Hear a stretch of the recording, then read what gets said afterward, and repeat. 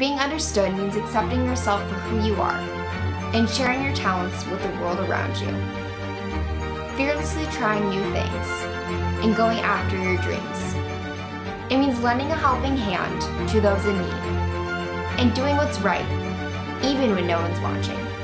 It means using your life to serve others and leave a positive impact wherever you go.